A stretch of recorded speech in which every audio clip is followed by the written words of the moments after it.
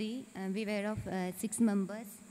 Uh, the points that we were discussed mainly of first one that is only when Christ is formed in us, the mystery of Christmas will be fulfilled. And the Christmas is the mystery of uh, the marvelous exchange that Jesus Christ is taking the form of human nature and he is giving us that his divine nature to us. And we are all children of God. The parents did not die for us, but Christ himself died for us and gave us life.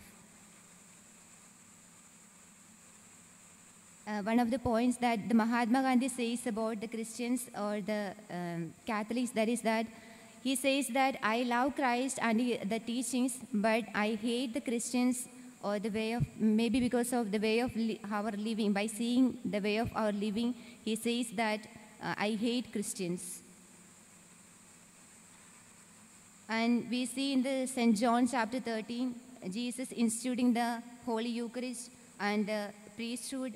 And also he instituted the new commandment that is love one another as Christ loves us. We, we try to study many isms like Hinduism, Muslimism, in order to interpret Jesus to the people. But the main thing is that uh, that is uh, the charism. Charism is a tool for evangelization. And we had also seen that the disciples were locked inside a room, and Jesus is appearing to them, and he is saying that peace be with you.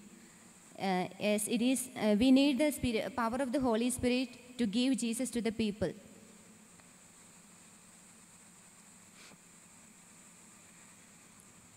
And we, are, we had also the anointing of the prayer, prayer section. Uh, in that we got many inspirations. Uh, One of the main thing that when we divided into uh, again uh, the small groups, and we really realized the power of the word of God. Jesus is speaking or giving the message through the word of God, what he want to say to each one of us. That really touched us. Thank you.